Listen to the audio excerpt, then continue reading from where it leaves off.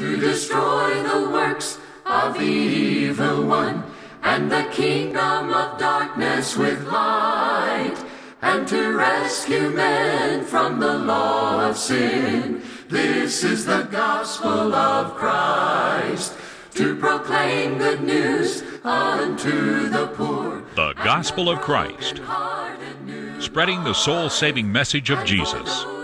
And now, Ben Bailey. This is the gospel of Christ. In Acts 16, verse 30 and 31, the greatest question that's ever been asked comes Sirs, what must I do to be saved? Today we're going to discuss the most solemn and important question ever asked, and we hope you'll get your Bible and stay tuned as we're going to study What must I do to be saved together? That question, what must I do to be saved, is a question that each person who wants to live with God must answer according to the Bible. And so today we want to begin by asking you, are you saved?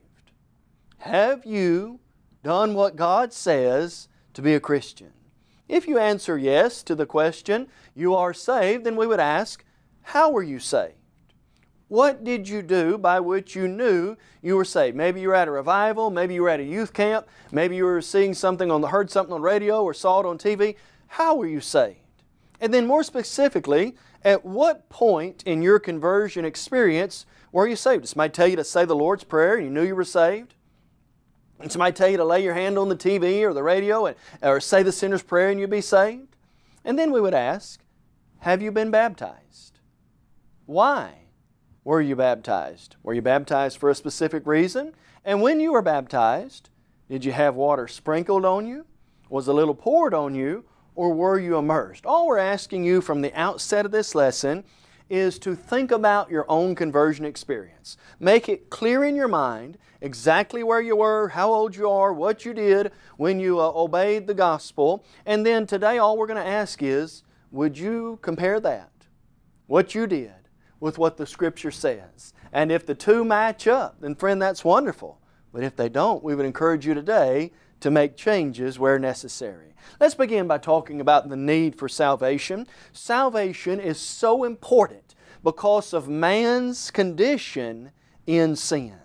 Isaiah 59 verses 1 and 2, the Bible says, The Lord's hand is not shortened that it cannot save, His ears not heavy that He cannot hear, but your sins and your iniquities have separated you from your God, and your sins have hidden His face from you that He will not hear. Friend, according to that verse, what is it that separates man from God? Your sins, my sins, have separated me from my God. And so sin is the great divide between God and man. Now, we know what sin is, for 1 John 3 verse 4 says, sin is a transgression of God's law. The Bible teaches us in James 1 verses 14 and 15 that sin comes from our own desires and lust. It's not as though I'm born with it. Rather, sin springs up within us when we have desires and lust and passion that we give into. And James says in James 4 verse 17, To him that knows to do good and does it not, to him it is a sin. And so sin's unrighteousness or transgression of the law. Sin is a failure to do what we know we ought to do when we give in to our passion and lust. But friend, let's ask this question. How many have sinned? And how many need to obey the gospel? Romans answers that question in two verses in Romans chapter 3. In Romans 3 verse 10, the Word of God says, For there is none righteous, no, not one. How many are righteous? None, not even one. Romans 3.23 comments further on that idea when the Word of God says, All have sinned and fallen short of the glory of God. How many have sinned? All. Does that include you? And does that include me? If all have sinned, then I have sinned. None righteous, all have sinned. Friend, do you see why there's such a great need to answer this question according to the Bible? And, and, maybe to illustrate that further, we might show just how terrible the consequences for sin are. For example, in the sixth chapter of the book of Romans, verse number 23, The Bible says, the wages of sin is death, but the free gift of God is eternal life in Christ Jesus our Lord. What's the wages of sin? Spiritual death, being separated from God forever. Now, how many sins do you have to commit to be separated from God eternally? One sin. God is a pure eyes than to behold evil. He cannot look upon wickedness. Sin separates man from God. Its wages is eternal death. In 1 Corinthians 6, verses 9 and 10, the Bible says, Do you not know that the unrighteous will not inherit the kingdom of God? Neither fornicators, nor idolaters, sodomites, homosexuals, covetous, they will not inherit the kingdom of God. Friend, will people living in sin go to heaven? Sadly, they will not go to heaven. In fact, Matthew 13, verses 40 through 42, there is a great separation. And at the end of the world, sinners will be cast into the lake of fire and torment. And so the consequences are spiritual death. The consequences are they will not be a part of God's kingdom and they will suffer eternally because of what they've done and how they live that's according to the plan, not according to the plan of Almighty God. And so let's turn it based on that fact that everybody sinned, that sin leads to horrible tragedy and an eternity with the devil. Let's turn our attention to that great question what must a person do to be saved? And friend, as we think about this question, we're going to let the Bible give us the answer. And as we mention these steps in the plan of salvation, we want you to see it from the Bible. And each one of these verses is going to tell us this is a command we must do. And so, what's God's condition for salvation? First, you must believe Jesus is God's Son. Here's the condition John 3.16, the Bible says, God so loved the world, He gave His only begotten Son, that whoever believes in Him should not perish, but have everlasting life. The condition stated in that verse is believe. Must a person believe in Jesus Christ to be saved? Absolutely, there is no denying that's the case. Now, can you be saved without believing? Not according to Jesus. In John 8, verse 24, Jesus said, Unless you believe that I'm He, you will surely die in your sins. If you don't believe in Jesus, Jesus said, Unless, there's no way you can be saved unless you believe in me. And so, no denying, a person must believe Jesus is the Son of God. But does salvation end at the point of belief? Is there anything else the Bible says a person must do to be saved? Well, there absolutely is.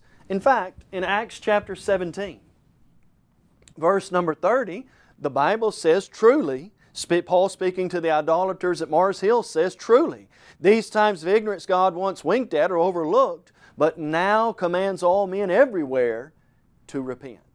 What's the condition stated in Acts 17, verse 30? God now commands all men everywhere to repent. Now, when we talk about repentance, sometimes that's confusing to people, and sometimes people equate repentance with crying or tears, and while that may be involved, that's not all there is to repentance. In fact, 2 Corinthians 7, verses 9 through 10 says, Godly sorrow produces repentance.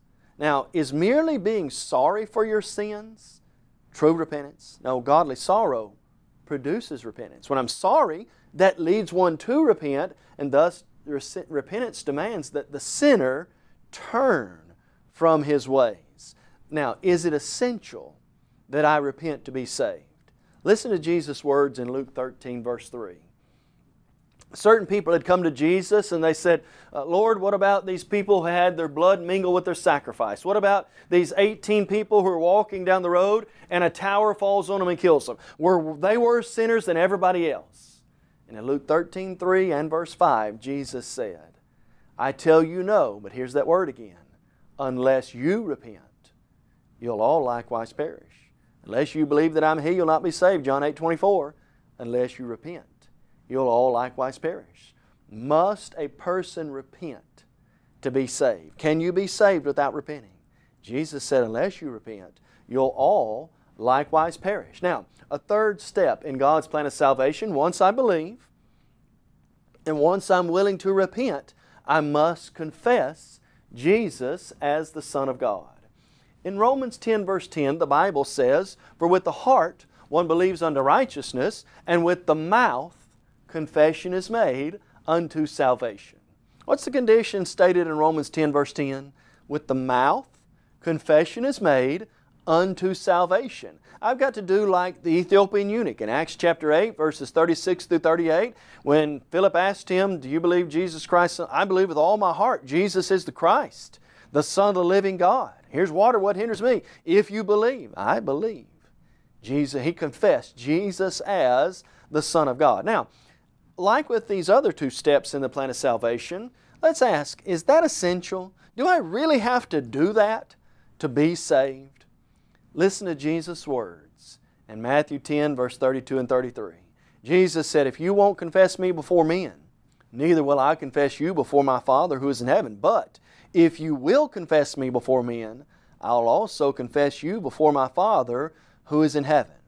Friend, did Jesus say you could be saved if you do not confess Him? You won't confess me, Jesus said, neither will I confess you before the Father who is in heaven. And so we believe in Jesus as the Son of God. That's essential. We repent. That's essential. We confess Christ. Jesus said, without it, there's no confessing you before the Father. It's essential also. And then, friend, the Bible also teaches that a person must be baptized to be saved. Now, I know a lot of people have trouble with the idea of baptism, but all we want to do is show you this is a command of God and that Jesus said you cannot be saved without being baptized first. Now, let's look to the Bible. Here's what we're asking you. Just look to the Bible with us and see if this isn't what the Word of God says. I direct your attention to 1 Peter chapter 3, and I'd like for you to look with me in verse number 21. Look in your own copy of the Bible or on the screen with us in 1 Peter chapter 3. I want you to notice what God's Word says in verse number 21. The Bible says, There is also an antitype which now saves us, baptism, not the removal of the filth of the flesh, but the answer of a good conscience toward God through the resurrection of Jesus Christ. Now what's the condition stated in 1 Peter 3.21? Peter said baptism does now also save us. The condition stated is baptism, and friend, don't miss those words. If the Bible says baptism now saves us, why would anyone dare say baptism is not essential to salvation? Now, let's talk about the essentiality. With every other point we've shown, you can't be saved, Jesus said, if you don't do these things. What about with baptism? Did Jesus say you can't be saved without being baptized? Notice John chapter 3, verse number 5. Jesus said, Verily, verily, most assuredly I say to you, unless, there's that word again, unless one is born of water and the Spirit, he cannot enter the kingdom of God. Friend, did Jesus say you'll be saved if you're not baptized? Jesus said, unless one is born of water and the Spirit, he can't get into the kingdom of God. Now again, we realize there are a lot of people who teach things that are contrary to this. All we're asking you to do is trust your Bible. Look to the Bible. If that's what it says, then simply believe it and do what God's Word says. Now, let me show you some other passages that clearly teach baptism is essential to salvation. Turn in your Bible to Mark chapter 16. And let's notice together verse number 16. That's Mark chapter 16, verse number 16. Jesus here said, He that believes and is baptized will be saved. He that does not believe shall be condemned. Now, there are two conditions, and I want you to notice what those are with me. Jesus said we must be, we must believe and be baptized to be saved. Did Jesus say, you believe and are baptized, then you're saved? You bet He did. Did Jesus say both conditions are necessary to be saved? He absolutely did. Why would anyone deny the clarity with which Jesus spoke here? He that believes, and the conjoining word and, is baptized, will be saved. Those are conditions Jesus set for salvation. Now, again, those are not the only passages. There's a host of other passages. Let me illustrate. If you're following along in your Bible, notice Acts chapter 2 verse number 38. Here, Peter is preaching the very first gospel sermon. The men and women in Jerusalem realize they've killed their own Messiah. They now want to know, men and brethren, what shall we do? What can we do to, to get over, to be saved from the sin of killing our own Savior? Peter responded by saying, Repent and be baptized, every one of you, in the name of Jesus Christ, don't miss this, for the remission of sins. The inspired preacher Peter told these believers to repent and be baptized for the remission of sins. Now, going all the way back to the beginning of our lesson, remember it's sin that separates us from God, right? Isaiah 59 verses 1 and 2. Whenever sin is removed, that's when a man's back in a relationship with God. Repent and be baptized for the remission of sins. Think about it maybe this way with me. In Ephesians 1 verse 3, the Bible says, all spiritual blessings are ours, the Christians, in Christ Jesus. Now, do Christians have every spiritual blessing in Christ? They absolutely do. If it's the case that all spiritual blessings are in Christ, are there any outside of Christ? Well, no, they're all in Christ. Uh, 2 Timothy 2 verse 10, salvation is in Christ. Is it the case that to be saved I've got to be in Christ? Well, yeah, that's clearly what the Bible says. Must one be in Christ to be saved? Absolutely. Well, friend, here's the question we've got to ask then. Imagine that we have a circle here that represents being in Christ. Inside that circle are all spiritual blessings. Inside that circle is salvation. And man is outside of it. How does one get in Christ where salvation and all spiritual blessings are?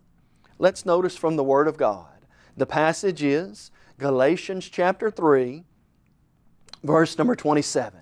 The Word of God reads, For as many of us as were baptized into Christ have clothed ourselves with Christ. Remember, all spiritual blessings are in Christ and salvation's in Christ. How does the Bible say you get in Christ? As many of us as were baptized into Christ. The only way the Bible says you get into Christ is by being baptized. Ephesians 4 verse 5 makes it emphatic that there is only one baptism. The Bible says there's one body, one spirit, one faith, one baptism, one Lord, one hope, one God, and Father of you all. Is there more than just one valid baptism in God's will today? No, just one baptism. Friend, since it's the case that God only accepts one baptism, must we be careful that we're baptized the way God tells us to? Absolutely. The Ethiopian eunuch was baptized in water, Acts chapter 8, verses 36 through 38. Both Philip and the eunuch got down out of the chariot. They both went down into the water. He baptized him, and they came up out of the water. Did Philip baptize the eunuch in water? You bet he did. Did both Philip and the eunuch both go down into the water? Absolutely. Would it have been necessary? Now you think about this. Would it have been necessary for both Philip and the eunuch to go down, get out of the chariot, go in the water, and baptize him if sprinkling or pouring were acceptable? Would it have been necessary for them both to get in the water? Of course not. Think about these passages. In John 3 verse 23, John was baptizing in Aenon near Salim because there was much water there. How much water does it take to sprinkle a baby or pour a little water on a baby? Not much. How much water does it take to immerse an individual? Much water. Think about this example. Mark chapter 1, verses 9 through 11. At Jesus' baptism, the Bible says, And coming up out of the water, the Spirit descended upon him like a dove. To come up out of water, Jesus had to first go down into it. Jesus was immersed. But you know the clearest picture of all is that of Romans chapter 6, verses 3 through 5. I want you to listen to these words with me as Paul speaks about both the importance and illustrates the mode of baptism. This is one of the clearest passages to help us understand that. Listen to Romans 6. We'll begin reading about verse number 3. Paul says, Or do you not know that as many of us as were baptized into Christ Jesus were baptized into His death?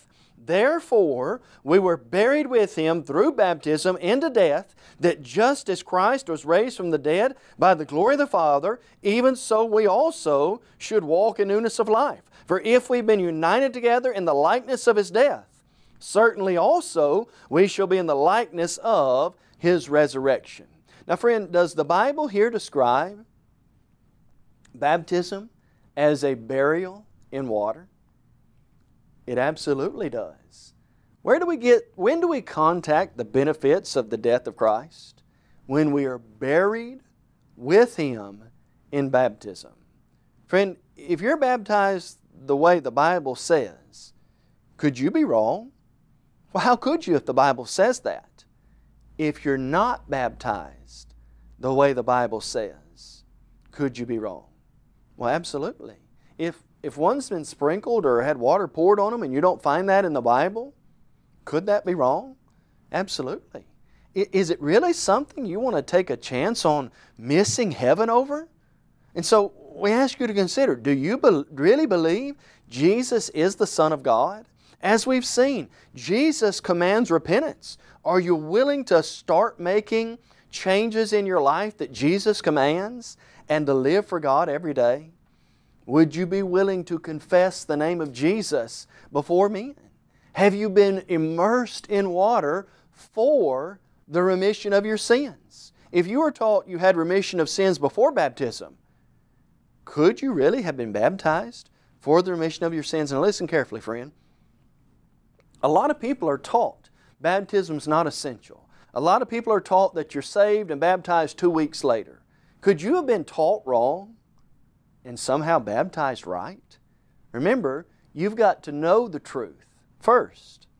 Then the truth makes you free. If you were taught on error on baptism, how could you be baptized correctly and been set free from your sins? Those two ideas are diametrically opposed. In fact, if you were taught you were saved before baptism, could you have really been saved and baptized the correct way? And thus, since God describes one baptism as a burial in water, could you have been scripturally baptized if you were sprinkled or if you had a little water poured on you? Friend, clearly one can see from the Scriptures that these things are indeed essential and that I must understand those to be right in the sight of God. And so we offer today some motivations, hopefully to encourage one to really obey the simple plan of salvation and just become a New Testament Christian. Here's the first motivation. Do you really love Jesus? In John 14, 15, Jesus said, If you love me, keep my commandments. If we really love Jesus, will we want to obey Him? You absolutely will. Do you love Jesus? Are you willing to obey Him? Since Jesus wants you to obey the gospel and be baptized, and, and you understand the importance of being baptized, wouldn't it please Jesus for you to be baptized and obey the gospel? Do you wear the name of Christ only? That's what the Bible commands Christians and Christians only. Does the church you attend worship the way that we've seen in the Bible today? Is the church you attend organized according to the pattern of elders and deacons and all Christians standing on level ground at the foot of the cross?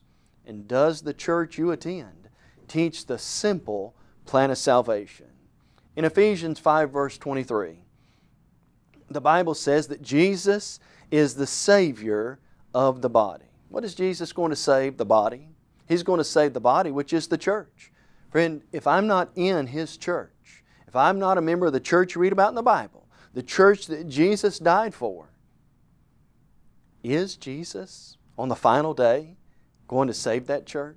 And so we need to make sure that we're a part of the church that the Lord and Savior Jesus Christ died for and that, that we're right in His sight. In Revelation chapter 20, verse 15, the Bible says that God opened up books, and one of those books is the book of life, and Christians have their name written in the book of life, the Lamb's book of life. Anyone's name not found written in the book of life, he was cast into the lake of eternal fire and torment. Friend, it's essential that our name be written in the book of life. And so today we're asking you, is your name written in God's book of life? Do you want God to write your name in His book? If so, you've got to obey the gospel plan of salvation.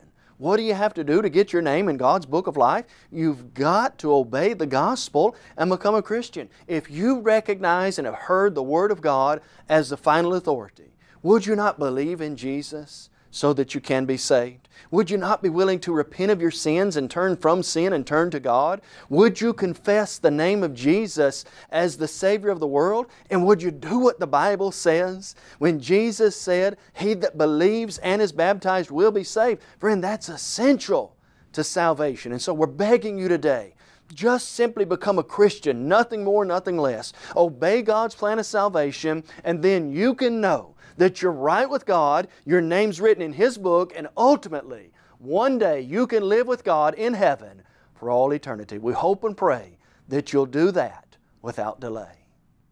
You may have just joined our program and are wondering, what is the Gospel of Christ? The Gospel of Christ is an evangelistic work of the churches of Christ that reaches the whole world with the gospel through TV, radio, and internet. Our motto is to take the whole gospel to the whole world. We believe in having a book, chapter, and verse for everything we say and do. And unlike many religious groups today, we're concerned about lost souls, not your wife. This is the gospel of Christ. We encourage you to visit thegospelofchrist.com for a host of Bible study materials as well as audio and video copies of our lessons. If you would like to have a copy of today's lesson, please visit our website and fill out a media request form or you can email us at mail at thegospelofchrist.com. Call us toll free at 1 855 458 3905 or write to us at P.O. Box 788, McMinnville, Tennessee 37111.